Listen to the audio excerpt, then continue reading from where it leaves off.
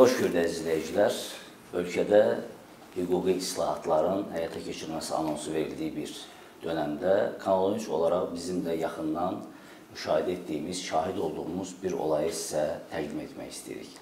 24 dəqiqə məhz bu məsələnin hüquqi tərəfləri ilə bağlı sizinlə söhbət edəcəyik. Bugünkü verilişimizin qonağı hüquqşünas, vəkil Beyuz Bayramovdur. Beyuz bəy, xoş gördük. Xoş gördük. Beyuz bəy, e, siz Əziz Orucovun vəkili olmusunuz, yəni şərhlənərək həbs olunduğu dönəmdə və onun e, şəxsi işi ilə də, onun həyat tərzi ilə də, yaşam tərzi ilə də e, aşağı-yuxarı tanışsınız. Ona görə bugünkü verilişimizdə sizin də deməli bu məsələlərlə bağlı bir hüquqşünas kimi mövqeyinizi öyrənmək maraqlı olar. E, may ayında bizim üçün, yəni Kanal 13 olaraq gerçəkdən şok effekti yaratdı bizdəki.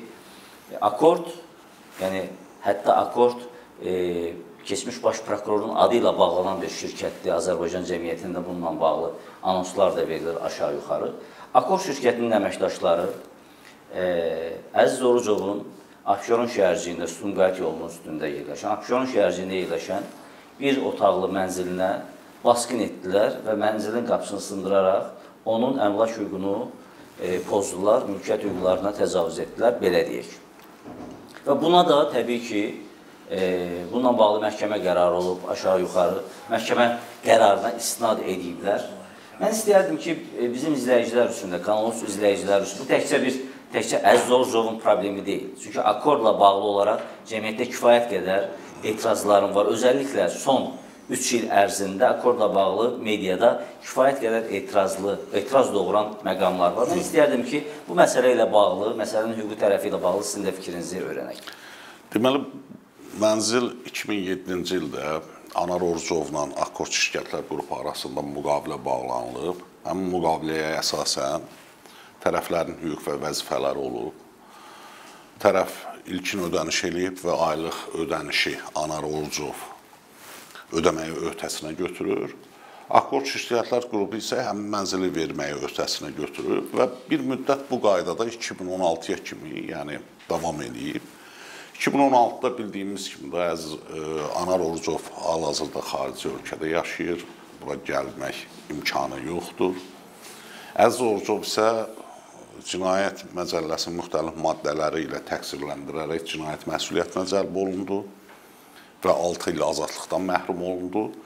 Və bu müddət ərzində artıq problem yaratmağa, yaranmağa başladı ki, yəni həmin pulu ödəməyə, aylıq ödənişi ödəməyə imkanları çatmayıb. Və onlar məhkəməyə də müraciət edib. Məhkəmə müqaviləni ləğv eləyib və göstərir ki, məhkəmə qətnaməsi ilə ki, həmin mənzil Akkor şirkətlər qrupuna təhvil verilsin.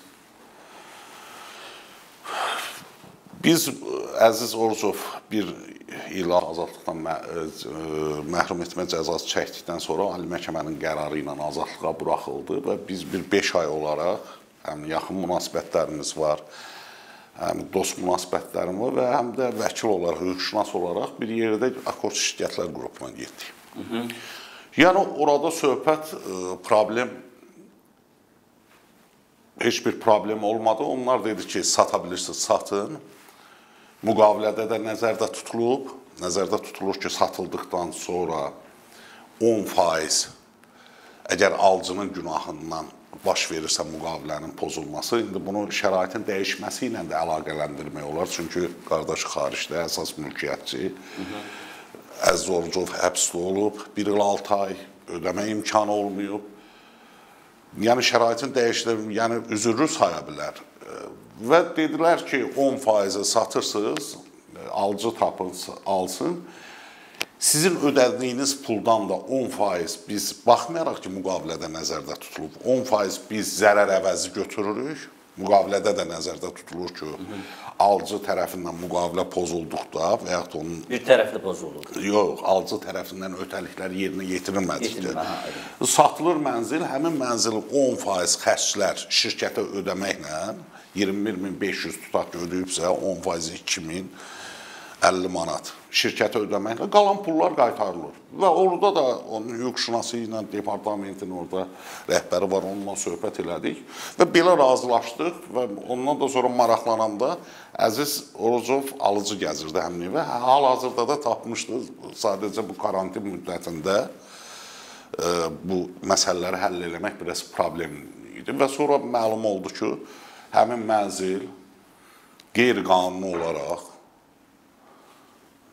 deməli qapısı dəyişdirilib, başqa açar deməli saxlanıcıdan təmin olunub və mənim üçün çox qəribə gəldi və sonra artıq qətnaməni alandan sonra qətnaməni mən xahiş elədim ki, göndər. Baxmayaraq ki, ondan apellyasiya şikayət verib.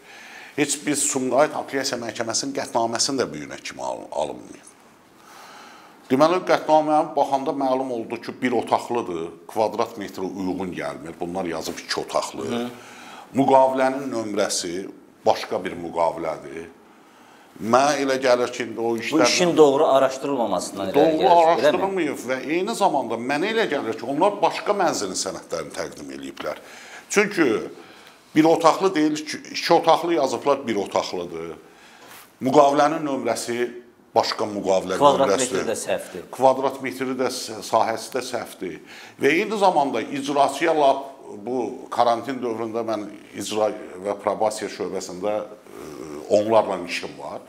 Hər hansı bir icra hərəkəti aparılmırdı. Adi bir arayış ala bilmirdik ki, yəni karantin dövrüdür. Bunlar karantin dövründə hansı əsaslarla gedib bu işləri görüblər. Yaxşı, Görəndə icraçı kvadrat metri ilə lap e, açarını dəyişdi mənzilin. İçəri girəndə baxır ki, burada 2 otaqlıdır, burada 1 otaqlı. Kvadrat metri uyğun gəlmir. Eyni zamanda tələbkar onlardır. Borclu, baxmayaraq ki, biz Sumqayıt Apellyasiya Məhkəməsinin qərarını almamışıq. Bir də e, demişəm müraciət eləsinlər. Bizim ondan kassasiya şikayət vermək hüququmuz var. Aldığımız müddətdən 2 ay ərzində. Siz icraçı olaraq girəndə baxmadınız ki, bu 2 otaqlıdır. Bu həm mənzil deyil, başqa bir. İlk eyni Kifayət zamanda prosedur xətaları ilə eyni zamanda tərəfin burada əmlakı var. Siz deyirsiniz müqavilə ləğv olunsun və təhvil verilsin. Tərəf burada kondisioneri var, soyuducusu var, əmlakları var. Bunlar siyahıya alınmalı idi. Tərəfin özünün iştirakı təmin olunmalı idi təhvil verilsin, siz gedib açarı dəyişdirirsiniz. Bu Ehruz bəy, bir də qaydaq 2017-ci ildə, 2017-ci ildə Əziz Orucov, yəni sırf yəni real olaraq vəkil olmusunuz, bəlkə də bunları siz detallı daha yaxşı bilirsiniz. Jurnalist fəaliyyətinə görə şərhlənərək həbs olundu. Eyni zamanda bu həbsdə olanda da, hətta apellyasiya məhkəməsi həbsə e, düşəndən ay yarım sonra bu evlə bağlı qərar çıxarıb. Yəni e, özünü müdafiə eləmək hüququ belə olmayıb, həmin, yəni imkan olmayıb gerçəkdə. Bunlar təsadüfdürmü ya bəlkə düşünülmüş addımdır. Əziz Orucovun konkret olaraq jurnalist fəaliyyətinə görə həbsə düşməsi, sonra onun evi ilə bağlı Akor şirkətinin, Akor şirkətinin də kimlərə mənsub olduğu bəllidir. Yəni onsuz. Mülki məcəllədə belə bir hər tərəf istinad etdiyi halları və faktları sübut edilməlidir. Bunun üçün sübut lazımdır, amma yaxşı 2017-dən qətnamə çıxıb bu qətnamə tərəfə təqdim olunduqdan sonra 2 ay müddət şikayət hüququmuz var. İndiyə kimi də mən Əziz Orzovla danışmışam, həmin qətnaməni almayıb. Belə olan halda məhkəmə onu təmin eləməli idi. Ya zəng vurmalı idi. Orada e, müqavilədə də Əziz Orzovun, Anar Orzovun telefon nömrələri var. Hı -hı. Həmin qətnaməni təqdim eləyəndən sonra qoyur. Deməli təqdim, qətnamə təqdim olunmur. İcraya yönəlir. İcraçı müqavilənin nömrəsinin uyğun olmadığı, gedib açarını dəyişdirdiyi həmin mənzilin iki otaqlı deyil, bir otaqlı olduğunu baxır. Orada içərisində olan əmlakın siyahısı alınmır. Özü də bunun karantin dövründə eləməsi mənim üçün çox təəccüblüdür. E, konkret olaraq bunu, yəni e, probasiya şöbəsindən gediblər ora səhv etmirəmsə.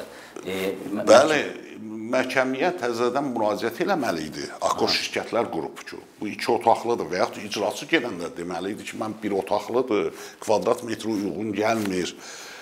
Təzədən müraciət eləməlidir. Onda dəqiqləşdirməli idi. İzah verməli idi ki, bu hansı? Orada məhkəmə qətnaməsində təzədən dəqiqləşdirmə olmadan icra işin aparması tam qanunsuzdur. Əslində o qədər absurd səslənir ki, e, nə kvadrat metr yerindədir. Nə Nə də borclu iştirak eləmir. Borclunun orada əmlakı Yəni, var. hüququn gerçəkdən ölkədəki durumunu da biraz sərgiləyir, göz önündə qoyur. Mən istəyərdim ki, Siz təsəvvür eləyin ki, mən üzr istəyirəm. Sumqayıt Apellyasiya ə, Abşeron rayon məhkəməsi araşdırır.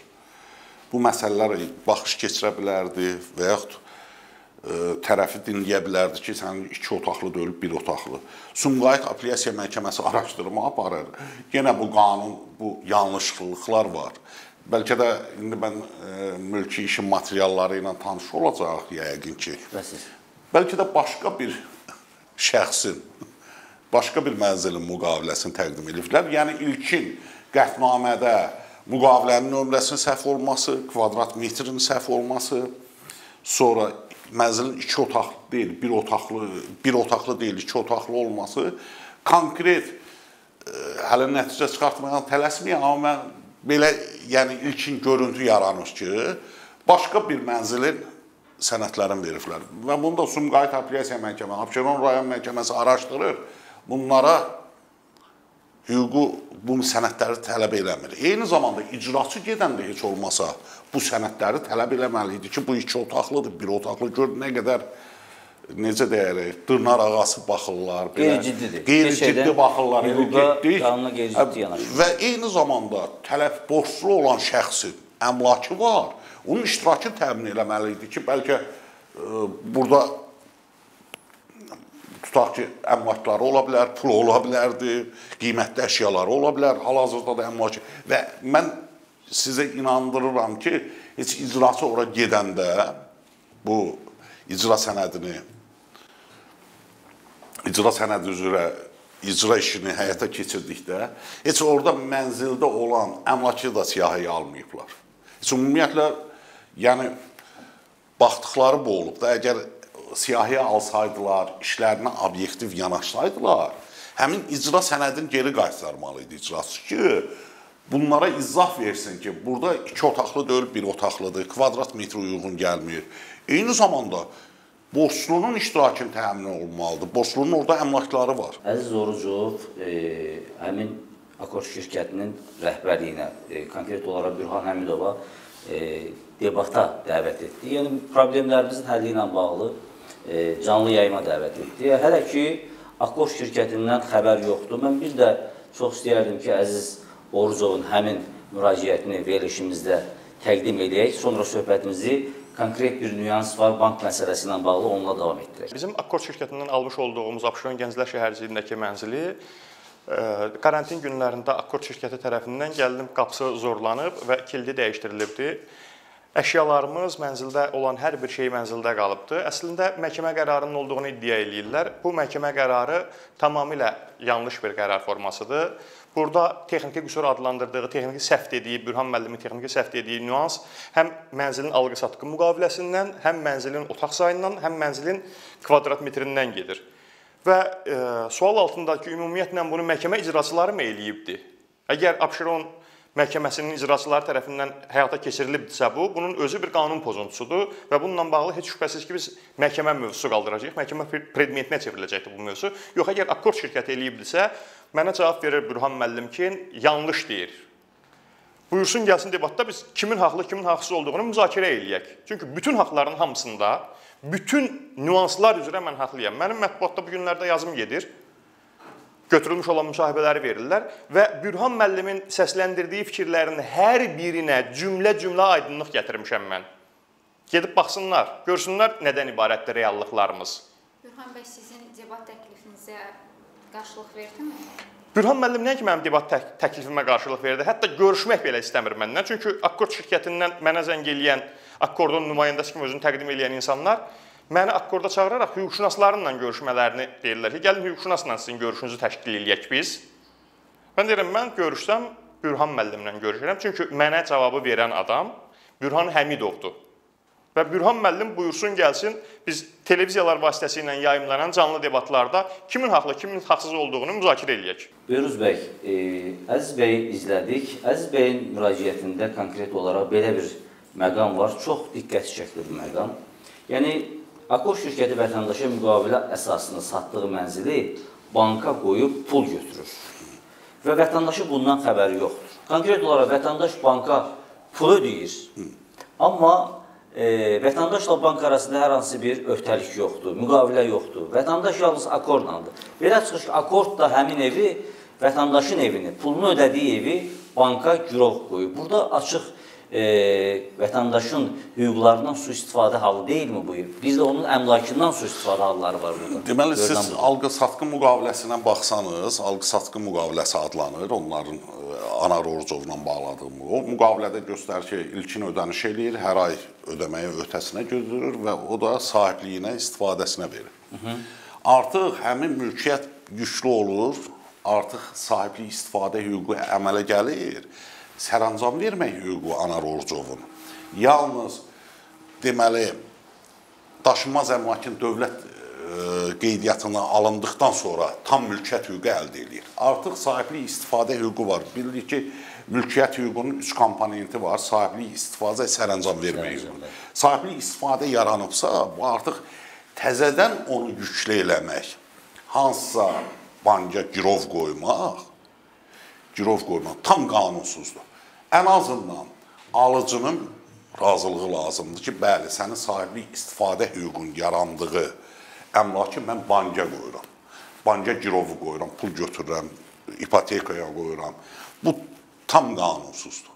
Tam. Görürüz bəy, ümumiyyətlə biz predmet əsasında danışırıq, predmet e, ətrafında danışırıq daha doğrusu və e, qarşımızda məhkəmə qərarları var, müqavilə var və həmin müqavilədən doğan hüquqi öhdəliklərin e, bir tərəf tərəfindən, yəni konkret olaraq akkord şirkəti tərəfindən pozulması faktı var. Və biz bu dönəmdə, yəni son 2 həftə ərzində akkordla bağlı kifayət qədər vətəndaş etirazlarının şahidi olduq. Uzun illər akkord bu e, ölkədə inşaat sektorunda çalışıb, amma e, təbii ki, razı qalan vətəndaşlar da ola bilər bununla bağlı, amma bu narazılıqların ortaya çıxması sanki 2017-ci ildən ortaya gəlib. Sizcə bunun səbəbi nədir? Nədən qaynaqlana bilər? Və son 3 ildə akkorddan belə kütləvi etirazların ortaya çıxması. Yəqin işləri keyfiyyətli görmürlər. Sonra belə qanunsuz hərəkətlərə yol verirlər. Bilirsiniz, işgüzar adət bir formalaşıb. Yəni e, tutaq ki, mənzili mən ödəyə bilmədim aylığın, sonra satırlar və yaxud siz alıcı tapırsınız. Əsas normal şirkətlərdə elədir. Və sonra həmin pulunu qaytarır. Baxmayaraq ki, indi 2007-ci ildən pul ödənilib. Tutaq ki, indi o vaxt qiyməti indi daha da yüksəkdir və yaxud da ödə, ödəyib indiyə kimi o pulu. Burada şirkət odur. Hər bir halda şirkət. Amma işgüzar adət formalaşıb ki, normal tikinti şirkətlərinə bina mənzil tikən. Mənzil tikən şirkətlərdə e, formalaşıb e, ki, yəni alıcı tapırsan, sənin ödədiyin pulu qaytarırsan, mən bir neçə işi məhkəmədə kənar həll eləmişik. Hı -hı. Ödəyirik, onunla da məsələ bitir. Və sonra da şirkət həmin mənzili təzə alıcı ilə davam eləyir ya əgər aylıq ödənişi varsa və yaxud necə. Bu ondan irəli gəlir ki, orada e, müqavilədə bir bənd də qoyublar ki, əgər qaytarırsa 10% satılandan sonra 10% Ya buna da xərc- etiraz eləmir əziz oruç. Yox, etiraz o qanunsuzdur. O mülki məcəllərin heç bir tələblərinə uyğun baxmayaraq belə qanunsuz işlər. Sonra tutaq ki, Akor şirkətlər qrupuna gedirsən, mən al almışam bu evi, indi keçirmək istəyirəm öz yaxın qohumun adına. Müqavilə indiyə kimi də ödəniş elə. Əlavə pul tələb eləyirlər. 2000 manat, 3000 manat. Bu da qanunsuzdur. Bax bu qanunsuzluqlara Beyruz bəy yeri gəlmişkən hansı orqan nəzarət etməlidir? Bilirsiniz, Prokurorluqmu? e, 2010 idi, 2010-cu və 2011-ci illəri idi. Hürriyyət qəzetində mənim müsahibəm çıxmışdı. Ümumiyyətlə bu tikinti şirkətləri ilə bağlı. Çünki birlikdə bir elə hallar, kütləvi hallar elə olub ki, bir mənzili 5 adama satırlar. Belə qanunsuzluqlar yol verirlər. Deməli mən o vaxt təhlil eləmişdim ki, daşınmaz əmlakın dövlət reyestr xidmətində lap bina tikilir, mən gedib mənzil alıram. Birbaşa qeyd qabaqcadan qeydiyyat aparılmalıdır. Çünki qabaqcadan qeydiyyat aparılsa, həmin orqana verilsə və qabaqcadan sabahları nə o mənzili başqa adama sata bilər, nə belə problemlər yarana bilər. Artıq onlara nəzarəti daşınmaz əmlak dövlət reyestr xidməti həyata keçirə bilər.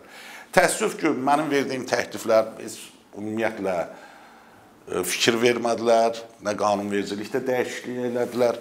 Ona görə də bunların işinə kim nəzarət eləyir onu bilmirəm. Tikinti tutaq ki, fövqəladə hallar nəzarət. Amma bunların o satış, gəlir, alqı-satqı eləməsi, mənzillərin satılmasına nəzarəti bir dənə vergi orqanı, o da ödədiyi pula görə, vergi e, ödənişlərinə görə nəzarəti keçirir. Heç bir nəzarət yoxdur. Yəni gerçəkdə mənim qarşımda həmin müqavilə var. E, verilişimizin sonuna da yaxınlaşırıq.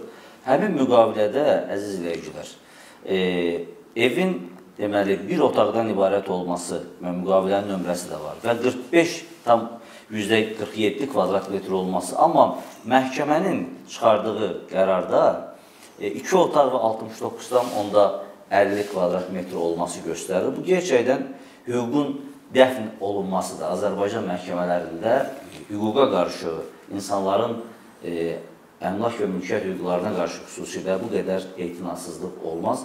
Verilişimizin sonuna gəlib çatdıq. Mən sonda istəyərdim ki, Behruz bəydən sonrakı hüquqi prosedurlar haqqında e, soruşum. Mən yəni, həmin şirkətlər qrupunun e, rəsmi nümayəndəsinin e, mətbuata açıqlamasını tanış oldum. Tərəf baxmayaraq ki, müqavilələrində də nəzərdə tutulur. Deyir, biz həmin evi kiməsə bağışlamışıq. Ümumiyyətlə, Akor şirkətlər qrupu, şirkət gəlir əldə etmək, şirkət hansı evi kiməsə bağışlayır, mənzil bağışlaması nizamnaməsində nəzərdə tutulub və ya tutulmayıb, bu öz məsələlərdir. Belə çıxır ki, yəni müqavilədə nəzərdə tutulub ki, 10% satıldıqdan sonra 10% ödəniş zərər ödənilməklə qalan pul qaytarılmalıdır. Həmin açıqlamadan da məlum olur ki, ümumiyyətlə Anar Orzov tərəfindən əsas sahibi olan, amma Əziz Orzov tərəfindən ödənişdir. Əziz Orzovun ödədiyi pul ümumiyyətlə ödənilməyəcək. Çünki heç o hissəyə də toxunmur deyib biz bağışlamışıq. Təbii ki, biz birincisi Sumqayıt Apellyasiya Məhkəməsinin bu iş üzrə qərarını almamışıq. Onun verəcəyi. Əziz Orzov hardasa indi ekspertiza təyin olunub, o vaxt almışdıq. Nə qədər təmir, təmir üçün, digər əşyaları var. Ümumiyyətlə bilirsiniz nətərdir? O vaxt məhkəmə araşdıranda o məsələlər də bunun əşyası var, mülkiyyətinə aid əşyalar var. Onların çıxarıcısı taleyi necə olacaq və yaxud onların çıxarmasını qoymayıblar. Elə belə çıxır ki, o həmin əşyalarla birlikdə keçib akord şirkətlər qrupunun E, təhvil verilib. Təbii ki, biz bu ödədiyimiz indiyə kimi pulu, təmirə çəkdiyimiz xərcləri, bir də əşyaların qiymətlərinə uyğun həmin pulları Akord şirkətlər qrupundan tələb edəcəyik. Eyni zamanda icra və probasiya şöbəsinin əməkdaşının qanunsuz hərəkətləri barəsində İnzibati İqtisadi Məhkəməsinə müraciət edəcəyik. Həmçinin Sumqayıt Apellyasiya Məhkəməsinin qərarını almamışıq, qətnaməsini. Həmin qətnaməni alıb ali məhkəməyə şikayət və eyni zamanda icranın dayandırılması haqqında vəsadət verəcək. Hüquqi prosedur davam edəcək. Eyni zamanda orada bəzi qanunsuz hərəkətlər barəsində hüquq mühafizə orqanlarına da müraciət etməyi düşünürük. Xüsusilə qanunsuz olaraq evə daxil olmanın evə özündə daxil də... olmaq, qanunsuz həyata keçirilməsi biz bilmirik. O, Əziz Orucova məxsus orada əmlaklar var. O əmlakların taleyi hardadır? İcra və probasiya şöbəsinin əməkdaşı niyə borclu olan tərəfi iştirakını təmin etməyib? O həmin əmlakları siyahıya alınıblar. Bizim bu barədə məlumatımız yoxdur. Çox təşəkkürlər Bəhruz bəy. Təbii ki, bu məsələdə, yəni hüququn, qanunun, e, ədalətin yəni, zəfər çalması diləyi ilə bu ölkədə ümumiyyətlə hüquqla bağlı illərdir ki, Biz nə qədər pozulan hüquqların şahidi olmuşuq. Amma heç olmasa insanların əmlak hüququ ilə bağlı, yəni siyasi hüquqları tapdanır, seçki hüquqları tapdanır. Heç olmasa insanların əmlak hüquqları ilə bağlı bu qədər, yəni açıq-aşkar hüquq pozuntusu olmasın. Yəni bu bu halın özü cəmiyyətdə çox mənfi bir presidentin yaranmasına səbəb ola bilər. Ona görə inanıram ki, əlaqədar qurumlar bu məsələ ilə bağlı adekvat e, qərar çıxaracaqlar. Bugünkü verilişimizin qonağı vəkil Behruz Bayramov idi və biz bu gün Akor şirkətinin son illər e, vətəndaşların hüquqlarına qarşı, yəni əmlak və mülkiyyət hüquqlarına qarşı e, etinasız yaranması və xüsusilə son olayları, yəni Kanal 13 e, televiziyasının e, baş redaktorunun əmlak hüquqlarına qarşı hücumu araşdırdıq və inanıram ki, bu verilişimiz e, müəyyən qədər cəmiyyətdə bu halların qarşısının alınmasında da təsirli olacaq. Sağ olun, sağ olun. Sağ olun. Təşəkkür edirəm.